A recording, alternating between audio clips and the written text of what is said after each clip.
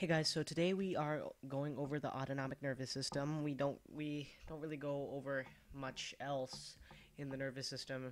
So um so this is going actually going to be the last video in the series, um, the nervous system series. So anyway, let's begin.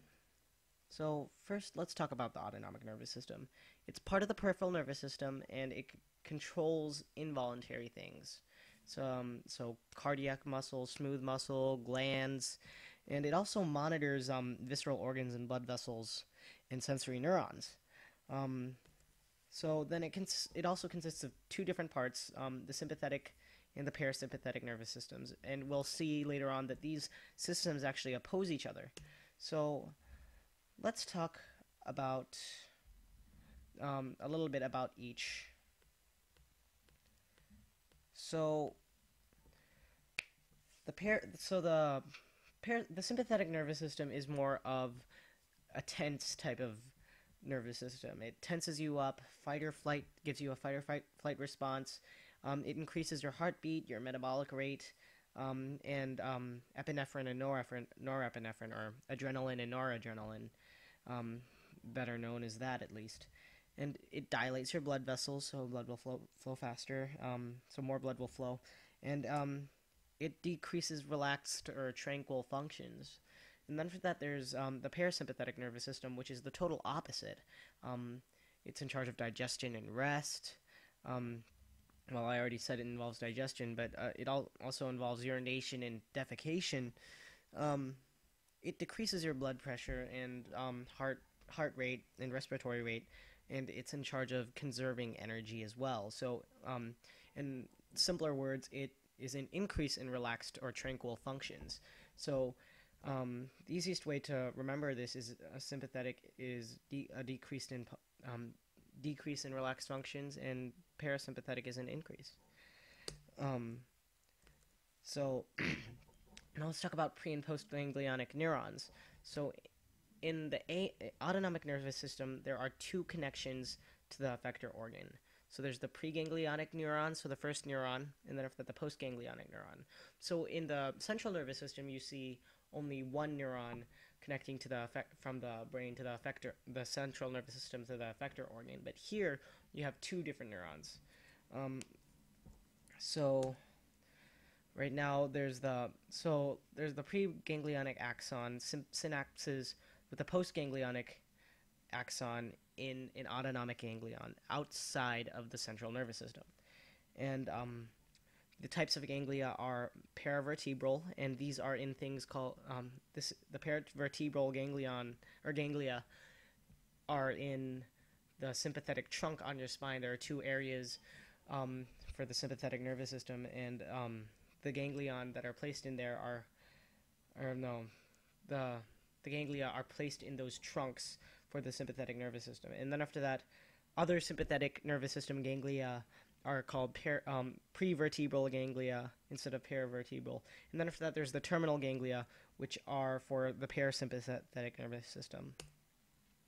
So here's a little picture just to if you didn't understand what I said. So in the um, in a um, in the voluntary portion, the somatic nervous system, so there's one neuron connecting to the central nervous system to the peripheral nervous system.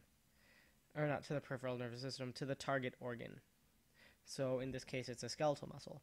But in the sympathetic and parasympathetic nervous systems, you'll see that there is, um, or there are two, um, two connections, two um, neurons that connect from the central nervous system to the target organ. So there are two neurons in charge of the efferent pathway.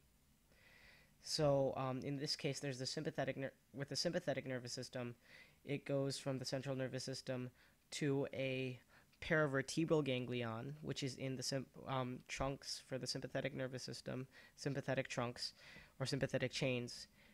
Uh, or it could be in a pre um, prevertebral ganglion outside of the sympathetic chains, and then after that, that neuron goes from that ganglion. Um, then there's another neuron that goes from that ganglion to the rest of the um, to a target organ.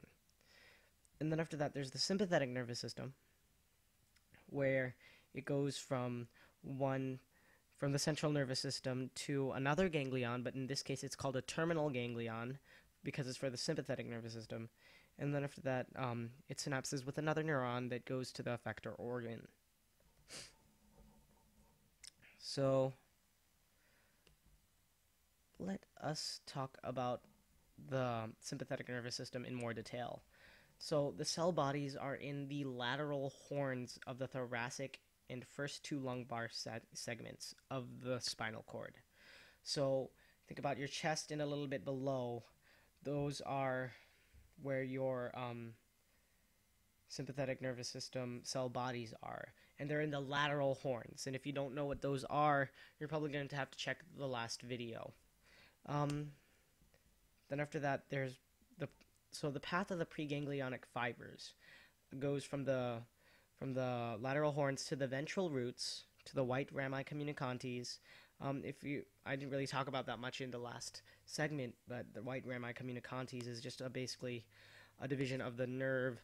Because um, remember that the nerve flows through the ventral roots or the dorsal roots, wherever, and after that it just divides into specific areas. And the, this area is just the white rami communicantes. And then after that, it goes to the sympathetic trunk, where it may synapse, it might not, because remember, there's the prevertebral ganglia. But um, it may synapse the first try, it may have to go through a few ganglia to um, synapse, but it'll go through the sympathetic trunk. And after that, it'll synapse with a postganglionic fiber, which will go to the gray rami communicantes, which once again is another um, segment. Um, it's a rami communicantes and then after that, um, it goes back to the spinal nerve, where it finds the target organ, where it follows down to the target organ. Now let's talk a little more the, about the parasympathetic nervous system in depth. So there are the preganglionic neurons, and those orig- originate in the gray matter of your sacral regions, specifically S2 and S4, and it also originates in the brainstem, so in cranial areas. So the preganglionic neurons follow the motor neurons to the effector, where the so the effector is actually where the terminal ganglia um, ganglion will be in this case, unlike um, in the sympathetic nervous system where the ganglia is in the sympathetic trunk.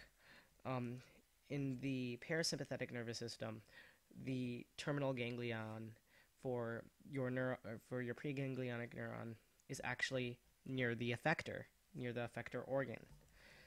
So, um, here's a little picture of um, of the sympathetic divisions and the parasympathetic divisions in the peripheral nervous system. So, um, as you can see, um, these have like where they go and all of that. And um, I won't really explain this much in depth. I, I'll just let send a link to this below. You can just take a look at this picture. And we're done with this episode, so thank you for watching, and I will see you next time.